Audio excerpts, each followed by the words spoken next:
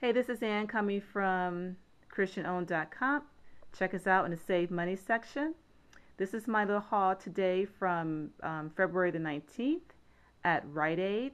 I'm in California, so unfortunately we didn't get some of the deals that was mentioned on YouTube, but this is what I got here. Um, Colgate is at Rite Aid, and that is on sale for 350 but if you buy this, you get you get um, 350 back in up rewards. I didn't have any coupons to use on this because I used them up in other deals. Um, this is really nice because not only do you get the uh, toothpaste, and it's a, it's a nice size, 5.8, but you also get this nice toothbrush. That was a nice surprise. They only had one of these at my store, so I guess they were still stocking. So I got that. Um, again, it was 350 and I happen to have $2 in up rewards. So I, I added that on there. So I it came out to a dollar fifty, and then I got my 350 back in up rewards. Okay, then I bought the Vaseline as you can see here. In California, this is the one that's on sale, and there is um, dollar coupons for this. And one of the, you know, you should already have this saved up. So you purchase this, you get two dollars back in up rewards.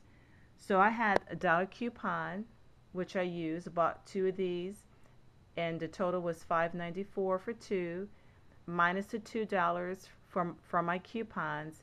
It came to three ninety four.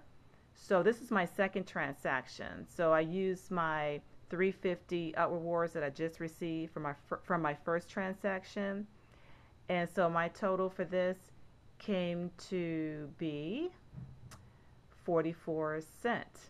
And then with tax, it was 93.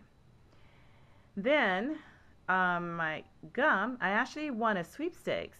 And in the sweepstakes, they sent me, um, I had a, pri- a $50 prize for, um, I'm trying to think of the name of it now. A pedometer. It's a $50 value pedometer. Also, they gave me a coupon to, to buy um, gum. So, what I was waiting for was for Rite Aid or somebody to have a buy one, get one free. Because my thing was use my coupon to purchase one, which was free. And then, since they had a sale, I would get the second one also for free. Now, I had a little problem with this because the cashier was telling me, no, you can't do that because the product is already on sale, so you cannot use the free coupon. Either use the free coupon or use the sale. Well, I looked at the coupon. I didn't see anything like that. It just said I can get any extra gum. And so you have to really know know the rules of using coupons because basically I'm using the coupon to buy this then I'm getting this free. So I, I, wouldn't let her go on that. You know, I was real nice and friendly. I said, no, I, I've done this before.